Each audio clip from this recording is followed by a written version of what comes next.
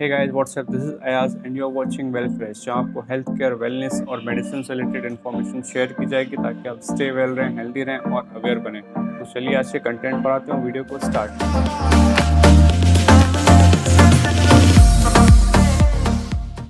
Video का title जैसे कि आप देख चुके होंगे, आज वॉमिटिंग और नोजिया यानी उल्टी और मतली के बारे में बात करने वाले हैं। उल्टी क्यों होती है, इसके क्या फैक्ट हैं, इसका क्या कारण होता है और किन बीमारियों की वजह से इसमें ज़्यादातर उल्टी होने के चांसेस होते हैं। और जो जी मतलाते हैं जिससे नोजिया कहते हैं जी क्यों मतलाता है, इसके क्या सिम्टम्स होते हैं, इसके बारे में भी बात करेंगे। तो पहले आपको हम उल्टी के बारे में बताते हैं कि वॉमिटिंग क्यों होती है और ये क्या चीज़ है। तो वॉमिटिंग यानी उल्टी बॉडी पे होने वाला एक बॉडी प्रोसेस है, जिसमें पेट में मौजूद जो भी पदार्थ होते हैं, उसको मुँह के रास्ते से बाहर निकालने को उल्टी कहा जाता है।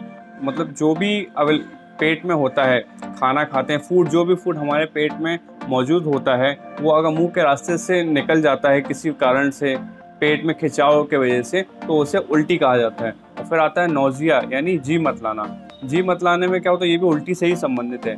जब हमें पहले उल्टी के पहले ये ऐसा महसूस होता है कि हमें उल्टी होने वाली है तो सिम्टम्स नज़र आते हैं। पर एक्चुअली में उल्टी होती नहीं उस टाइम लगता है कि उल्टी होने वाली है तो ऐसी कंडीशन में हम उसे नोजिया यानी जी मतलाना कहते हैं। तो उल्टी के जो कॉजेज होते हैं, वो कॉमन कब आते हैं? जब प्रेगनेंसी के टाइम लेडीज़ को उल्टी ज़्यादा होती है और जब कैंसर का इलाज किया जाता है, उस समय कैंसर थेरेपी में भी उल्टी के चांसेस ज़्यादा बढ़ जाते हैं।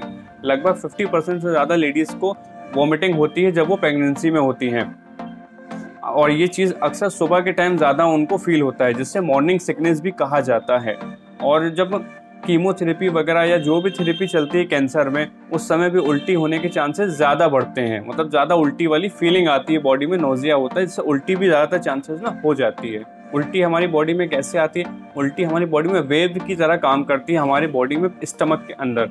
जब वेव की तरह वो काम करती है तो ईसोफागस की लेयर होती है हमारी बॉडी के अंदर, पेट के अंदर। जब ईसोफागस की लेयर में जब खिंचाव, तनाव होता है तो ज़ाहिर सी बात है, बहुत ही जल्दी उल्टी हो जाती है। जो भी फ़ूड अवेलेबल होता है सपोज़ लिक्विड में या फिर सॉलिड में, जो भी फ़ूड अवेलेबल होता है, वो मुँह के रास्ते से बाहर निकल जाता है, जो उल्टी में बहुत ही ज़्यादा कॉमन डिसीज होता है। और यही कारण है, उल्टी हमारे बॉडी में कैसे होती है? लहर की तरह होती है, जिससे ईसोफागस के लेयर में खिंचाव और तनाव होता है।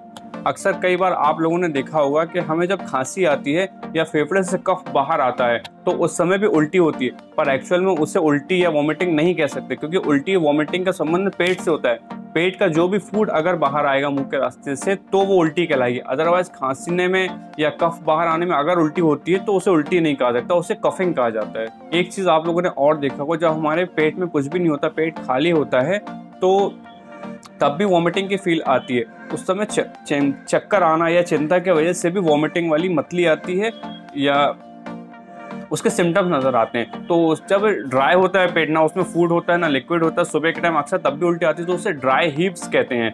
ऐसे सिम्टम्स को वॉमिटिंग में नहीं जोड़ा जाता, उसे ड्राई ही ड्राई हीप्स कहा जाता है। तो वॉमिटिंग आने से हमारे बॉडी में क्या इफ़ेक्ट होता है, इसके बारे में आपको बताता हूँ। तो वॉमिटिंग आने से बॉडी में पूरा का पूरा पानी सूख जाता है डिहाइड्रेशन हो जाता है हमारी बॉडी में, और इसके अलावा जिस पेशेंट को वॉमिटिंग होती है, उसके होंठ सूखने लगते हैं, उसको प्यास ज़्यादा लग, प्यास ज़्यादा लगती है, और उसे पानी भी बहुत ज़्यादा पीना पड़ता है। पर एक्चुअल में उस टाइम में पानी आपको नहीं देना है ज़्यादा, थोड़ा बहुत पानी दे सकते हैं ताकि होंठ और मुँह हमारा ड्राई ना हो ड्राइनेस खत्म हो जाए। क्योंकि पानी अगर उस कंडीशन में हम ज़्यादा लेंगे तो दोबारा उल्टी के चांसेस बढ़ जाते हैं हमारी बॉडी पे।